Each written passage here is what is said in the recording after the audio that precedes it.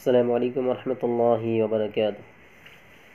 الحمد لله وكفى وسلام على عباده الذين اصطفى. أما بعد قال الله تعالى في كلامه المجيد أعوذ بالله من الشيطان الرجيم. بسم الله الرحمن الرحيم. ادعوني أستجب لكم. وقال رسول الله صلى الله عليه وسلم من لم يسل الله يكتب عليه أو كما قال عليه الصلاة والسلام আলহামদুলিল্লাহ আজকে নতুন একটি বিষয় নিয়ে আমি এসেছি সেটা হলো দোয়া এবং তার ফজিলত এটা সবচেয়ে বড় একটি গুরুত্বপূর্ণ বিষয় যে বান্দা তার মালিকের কাছে চাইবে কিভাবে চাইবে কোথায় চাইবে তার পাওয়াগুলো কোথায় ব্যক্ত করবে সে, এটা হলো সবচেয়ে বড় একটা বিষয়। হাদিসের মধ্যে আসে আউজাজিন নাসিস আমিন আজিজ ফি দোয়াই ওর মতো অক্ষম আর কে হতে পারে যে আল্লাহর কাছে চাইতে পারে না, দোয়া করতে পারে না, যেখানে আল্লাহ তালা বলেছেন উদু ওনি আস্তাজিব লেকুম। তোমরা আমাকে ডাকো, আমি তোমাদের ডাকে সাড়া দেব। তোমরা আমার কাছে চাও, আমার কাছে সোয়াল করো। আল্লাহ বলেন, তোমরা আমার কাছে চাও, আমি তোমাদের ডাকে সাড়া দেব। তোমার কি দরকার?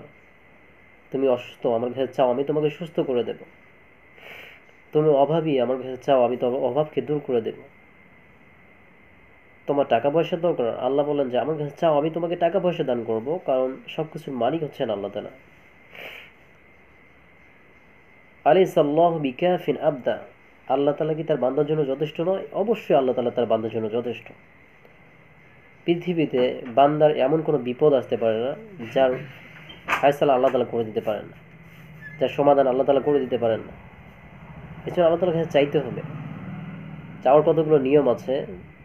যেমন আল্লাহ তালা বলেছেন, ইয়া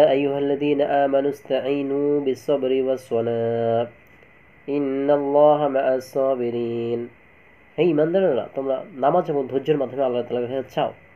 আল্লাহ ধৈর্যশীলদের সাথে আছেন। হুজুর সাল্লাল্লাহু আলাইহি বলেছেন, আকরাবু মা ইয়াকুনু আল-আবদু মির রাব্বিহি ওয়া হুয়া সাজিদ ফাআকসিরু ফীহি তুয়া একজন বান্দা আল্লাহ তাআলা সবচেয়ে নিকটে যায় যখন সে সেজদার মতো থাকে। হোসেন বলেছেন, ফাকসিরু ফি দোয়া তোমরা এই সেজদার মধ্যে বেশি বেশি করে চাও, তোমাদের চাওগুলোকে আল্লাহ তালার কাছে ব্যক্ত করো। তাহাজ্জুদ নামাজে উঠো উঠে মালিকের কাছে চাও। আল্লাহ আল্লাহ তালা ডাকতে থাকেন। যে, মা মিন কে আছো আমার কাছে চাও, আমি তোমাকে মাফ করে দেবো। কে আছো অভাবী, আমার কাছে চাও, অভাবকে দূর করে দেবো। কে আছো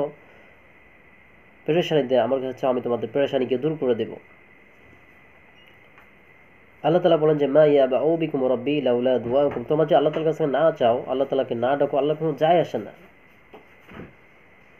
তোমাদের লাভ, তোমরা যখন আল্লাহ তালার কাছে চাইবা, হুসেন বলেছেন মাল্লা মিয়াসাল্লাহি আব্দবা আলাই আমি এমন মালিক পেয়েছি আমরা যে মালিকের কাছে আমরা যদি না চাই, তো আল্লাহ তালা আমাদের উপর রাগ করেন। পৃথিবীর যেখানে উল্টা, পৃথিবীর নিজের পিতামাতা হোক, নিজের আত্মীয় স্বজন হোক, কয়েকবার যদি আমি চাই, তো তারা রাগ করে। কিন্তু আল্লাহ তালা বলেন হুসাল্লাম বলেন যে আল্লাহ তালা আল্লাহ তালার কাছে না চাইলে আল্লাহ তালা রাগ করেন।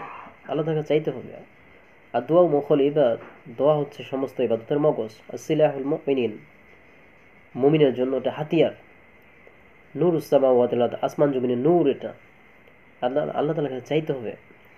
যখনই আল্লাহ তালার কাছে চাইতে থাকব, আল্লাহ তালা আমাকে দান করবেন। আল্লাহর কাছে বল, ইয়া রব্বি, ইয়া রব। নিজেকে আল্লাহ তালার কাছে, নিজের মালিকের কাছে যত ছোট করা যায়, আল্লাহ তালা ততই দোয়া কবুল করবেন। নিজের অস্তিত্বকে আল্লাহ তালার সামনে বিলীন করে দিতে হবে। নিজের চাওয়া পাওয়াগুলোকে আল্লাহ তালার কাছে সবাই দিতে হবে। নিজের জিন্দিগিটাকে আল্লাহ তালার কাছে দিতে হবে। আল্লাহর কাছে বলতে হবে, ইন্না সোলাতি নিচে আমার নামাজ অনুসকি ও মাহিয়া রব্বিল আলামিন। আমার কোরবানি, আমার জীবন, আমার মরণ সব আল্লাহ তালার জন্য। নিজের আল্লাহ তালা চাইতে হবে, ইয়া রব ইয়া রব ইয়া রব, ইয়া রব্বি আল্লাহ। আল্লাহ তালার কাছে নিজের চাহিদাগুলোকে প্রকাশ করতে হবে, তো আল্লাহ তালা আমার চাহিদাগুলোকে পূরণ করে দেবেন। পৃথিবীর কারও কাছে হাত পাতা যাবে না না কোনো পীরের কাছে না পীর আমাকে সন্তান দিতে পারে, না পৃথিবীর কেউ আমাকে সাহায্য করতে পারে। পৃথিবীর সবাই যদি আমার সাহায্য করতে চায়, ততটুকুই আমার সাহায্য করতে পারবে, যতটুকু আল্লাহ তালা চাইবেন। পৃথিবীর মানুষ আমার ততটুকু ক্ষতি করতে পারবে যতটুকু